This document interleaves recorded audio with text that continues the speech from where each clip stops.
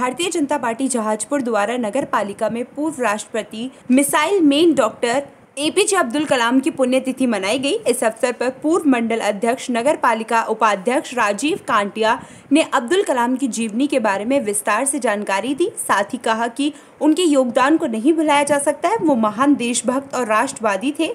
इस अवसर पर नगर पालिका अध्यक्ष नरेश मीना नगर मंडल अध्यक्ष भैरू लाल टांग पार्षद राम प्रसाद रेगर कालूराम खटीक, लवली सिंह मीना, दीपक मीना एडवोकेट अमित बिडला, कैलाश टेपन, पंकज घारू, कमल गोड़, कैलाश टेपन, पवन वैष्णव, अमित गुज्जर मौजूद थे। इस प्रकार के प्रश्न पूछे।